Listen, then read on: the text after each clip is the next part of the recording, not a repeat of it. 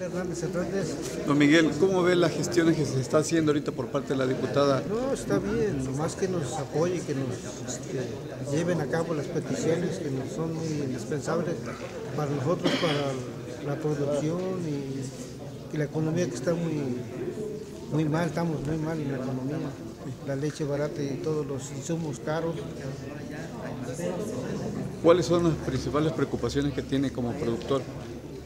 Pues, de gestionar un precio de leche más, más real, que sea favorecido a- hacia nosotros, la, nuestra economía, porque pues, todo está muy caro y, y la leche barata.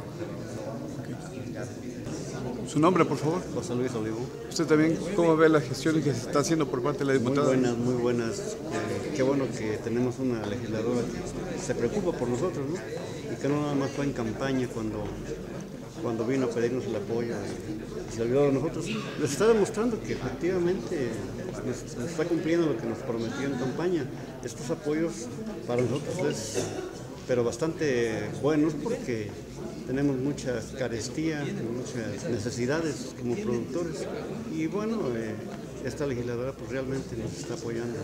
Muy bueno eh, su intervención para estos recursos que, que se van a aterrizar. Y bueno, a nosotros nos va a beneficiar bastante el camino, puesto que lo transitamos a diario y es un camino pues, que está en pésimas condiciones actualmente. Y bueno, esperamos que con la intervención de nuestra diputada pues, se lleve a cabo y, salga muy bien, ¿no? Nos hemos beneficiado sobre todo. Me da mucho gusto que, que haya regresado y ojalá y de veras se, eh, se concrete lo del camino. Gracias. Es importante para los productores. Sí, sí, muy importante.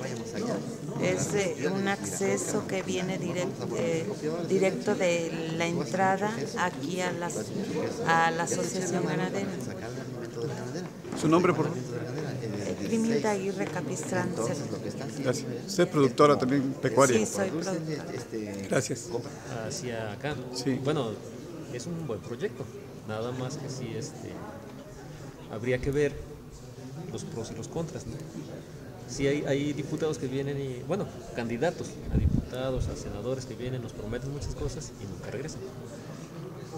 Y esta diputada, bueno, al menos Ya regresó. ya, regresó y, y nos va a hacer un proyecto, eso es bueno. Es una, una diputada que yo siento que sí está trabajando para, para los productores. Ojalá y se concrete todo esto y sigamos adelante. Su nombre, por favor. Osvaldo García García para servirles. Pues yo opino exactamente igual.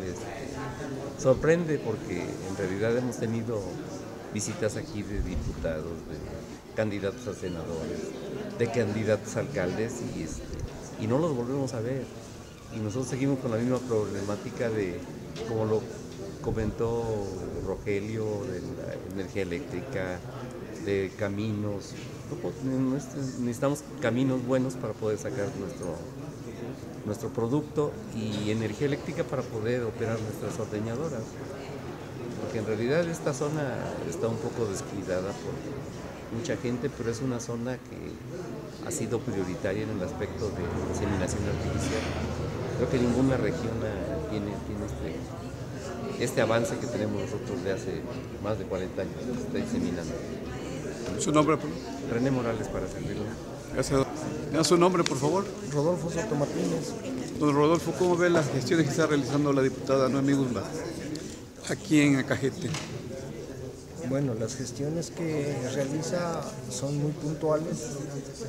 Eh, a mí me ha, constado ver su, trayectoria en trabajo, hemos estado muy de cerca y, este, y pues no me queda más que agradecer esa atención que hoy en día hemos tenido.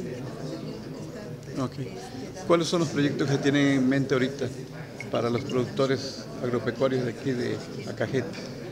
Los proyectos en mente que tenemos ahorita e inmediatos, pues es eh, como asociación ganadera y como necesidad prioritaria, pues precisamente es abatir las, las malas condiciones de este camino, del cual acabamos de hablar y que hoy en día la diputada nos acaba de confirmar que ha gestionado el recurso, haciéndonos énfasis de la parte que nos corresponde a nosotros como beneficiarios y lo mismo la parte que le corresponde al gobierno municipal para que dichos recursos se aterricen en la obra. Es un gran apoyo para ustedes.